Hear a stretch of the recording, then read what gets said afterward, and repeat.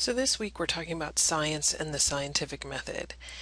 And you may be rolling your eyes at this moment because you've probably learned something about the scientific method. I know my uh, fifth grader is learning something about the scientific method right now. So this is something you've probably heard about.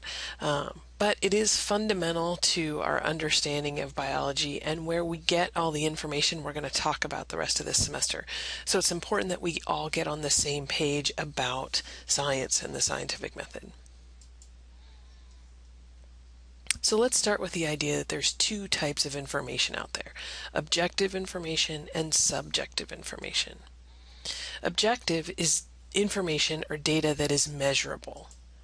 Subjective is data or information that's influenced by opinion, values, morals, faith, aesthetics.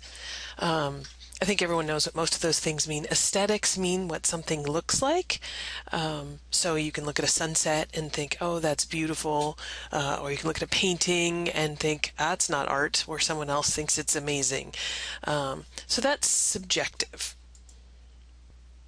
So, if science is the collection and analysis of objective data, uh, science can only tackle things that you can collect objective data for.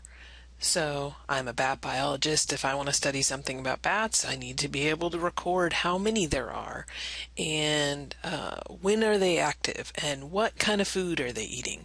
And think about everything there is something I could write down easily on a spreadsheet. Um, science can't tackle subjective information. Um, and I think the word subjective has some negative connotations. And I want to sort of. Uh, correct that idea because subjective information is very important. Our morals, our values, our faith are very, very important to people.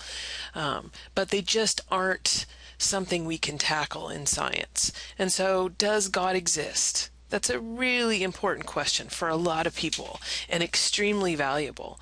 Um, but it's not something we can collect data on, so it's just not the realm of science.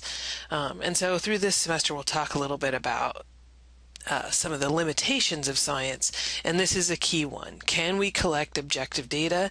Then it is in the realm of science. If we can't, then it's equally important but outside the realm of science.